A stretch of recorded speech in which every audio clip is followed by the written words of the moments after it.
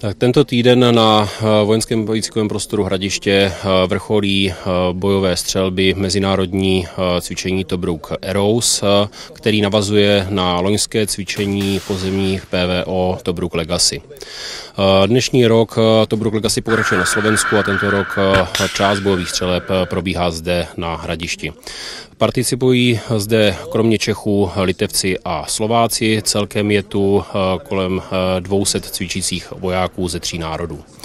Češi střílí z kompletu RB70, což je laserově naváděný systém, dále z kompletu S10 a S2. Tyto komplety jsou infračervené, S10 má i fotokontrastní režim.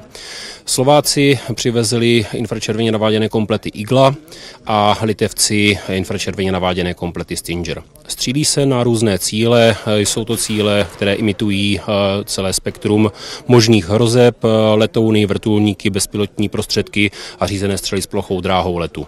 Tyto cíle postřelujeme na vzdálenostech od eh, cirka 2 do 3 kilometrů. V rámci těchto střeleb jsme navázali úzkou spolupráci s Litevci a Slováky. Ta spolupráce je vynikající. Zjistili jsme, že naše operační postupy díky tomu, že jsme všichni v NATO, jsou opravdu sjednoceny.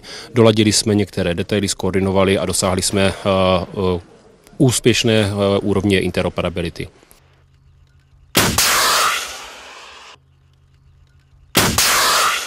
Pass!